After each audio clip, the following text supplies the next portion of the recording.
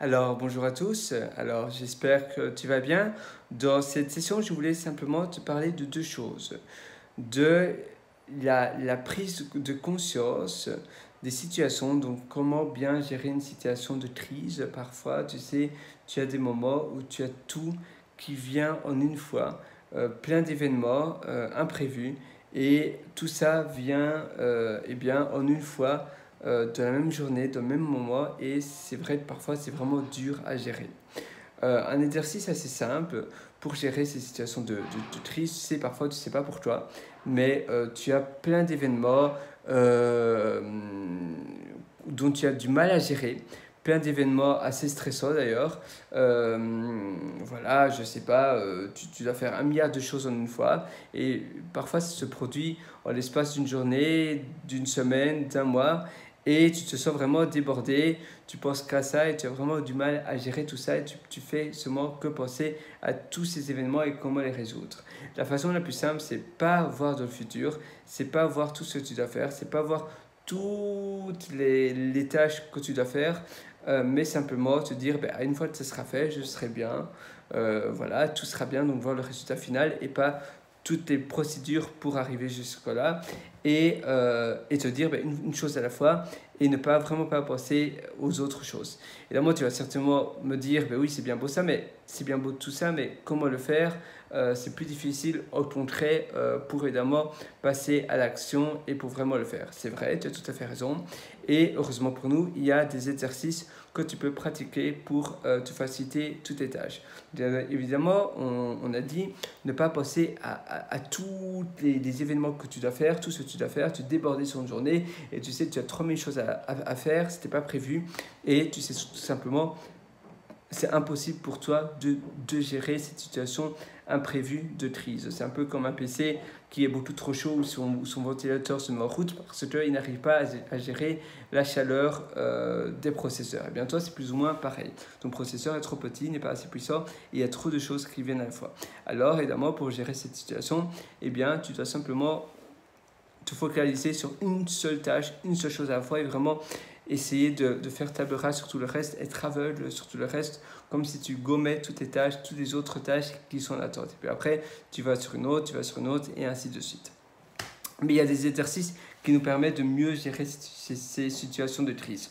Quand ça, quand ça arrive, tu peux simplement, euh, voilà, tu dois faire le slow down, comme les anglais disent. Donc tu dois vraiment prendre du recul et te, te détendre. Parce qu'évidemment, voir une chose à la fois, voir une action à la fois et essayer de vraiment faire, voilà, de ne pas essayer de, de, de, de, trop stresser, ça demande un peu de préparation.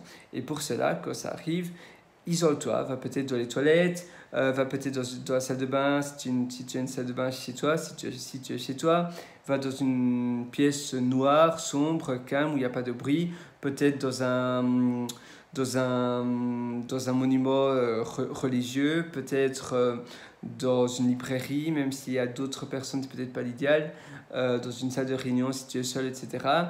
Éteins la lumière, pas de bruit et relaxe-toi. Vraiment, pendant 5 minutes, vraiment fais le vide, fais le vide de ta tête. Tu peux aussi faire des exercices de respiration. Donc voilà, tu, tu prends l'air à ton nez, tu bloques la respiration et puis tu relâches la respiration pendant un peu plus longtemps que euh, l'inspiration que tu as fait.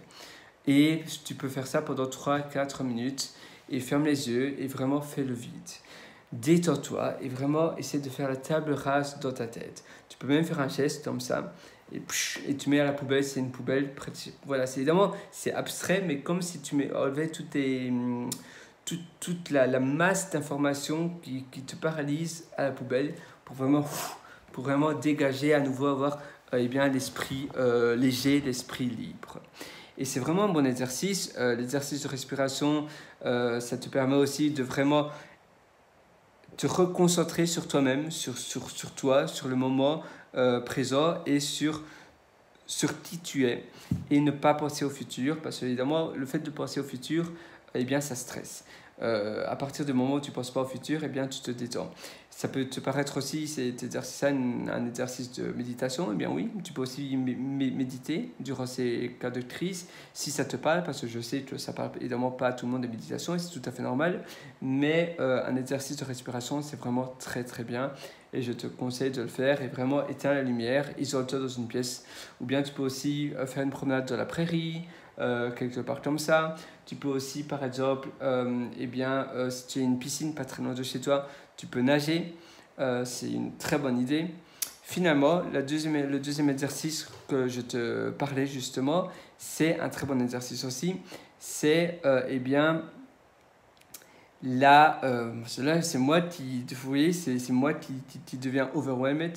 C'est moi qui, où, là, où j'ai plein d'informations, je, pensais à quelque chose d'autre que je dois faire juste après. Vous voyez, même moi, ça m'arrive aussi, même si je vous approche justement à ne à, pas le faire. Et eh bien, donc, le deuxième exercice, c'est euh, ce voilà, c'est passer outre ces peurs au public dans les interactions qu'on peut avoir, euh, les interactions sociales.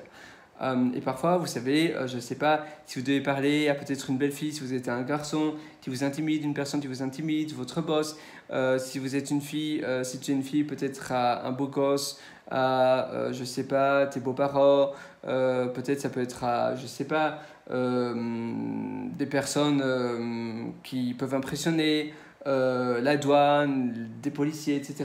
Il y a certainement plein de choses que j'ai loupées et qui vous font peur aussi, mais là, c'était seulement les choses qui me venaient à l'esprit maintenant. Mais ça peut être, peu importe, ça peut être plein, plein, plein de choses. Et le plus important, c'est vous dire que finalement, ça va bien se passer.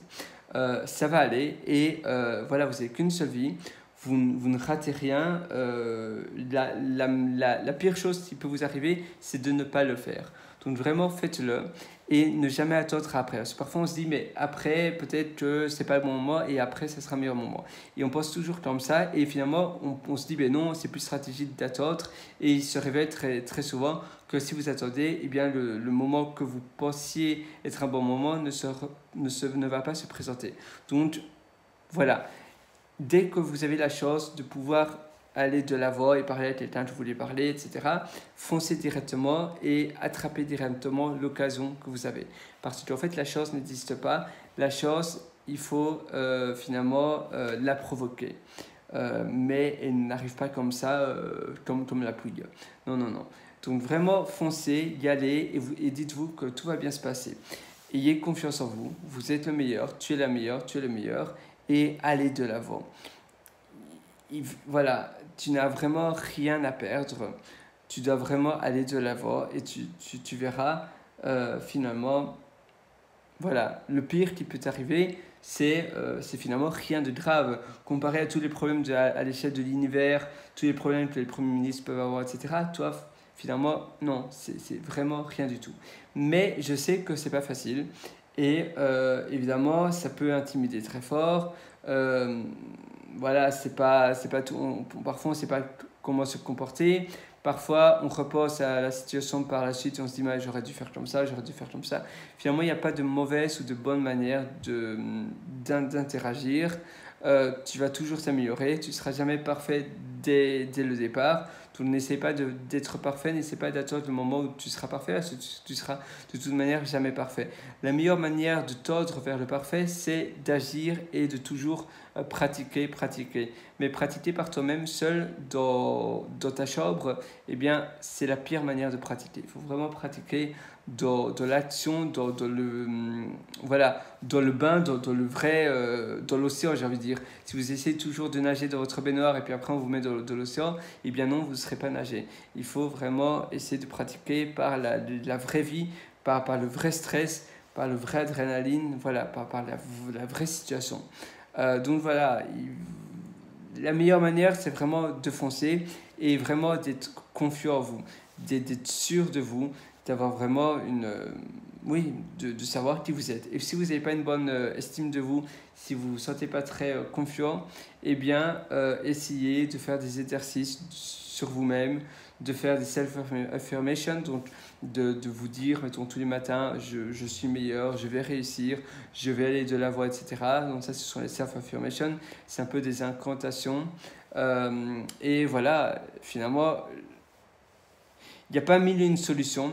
Vous pouvez aussi faire des, des exercices de respiration comme euh, pour euh, gérer les situations de, de crise, de crise, ou là, pardon, j'ai du mal à parler, euh, de ce qu'on avait parlé juste avant. Mais euh, exercice de respiration, euh, bien vous tenir droit aussi, ça aide à augmenter votre euh, confiance en vous. Et finalement, agissez, agissez, agissez. C'est la meilleure, euh, c'est le meilleur conseil finalement que je peux te donner. Voilà, je voulais vraiment faire cette vidéo de 10 minutes et pas plus. Et justement, ça fait 10 minutes que je parle avec toi. Donc, on va se laisser là et on se donne rendez-vous dans une prochaine session. Alors, allez, ciao. Là, je commence à être fatigué. Je sais pas si tu entends ma voix. Euh, je vais aller au lit là maintenant et euh, je te conseille, je te souhaite, pardon, vous voyez, là, tu vois, d'ailleurs je mélange les vous, les vous, les tu, les tu, les vous.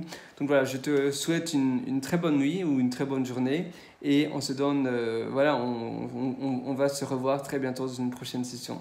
Ciao